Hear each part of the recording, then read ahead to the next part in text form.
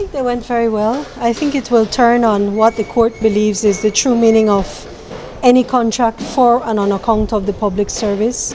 These words have never been uh, litigated in court before. It's the first time. The court is being asked to look at the meaning in the Constitution, and I think it's very important because not only do you have to look at what was meant by the words, the plain meaning of the words, but you have to look at why the words were put into the section.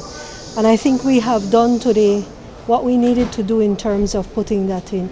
It will really turn on whether the judge accepts our arguments or that of the other side. But I feel that we have done the work necessary to be able to put the materials before the court so that a determination can be made.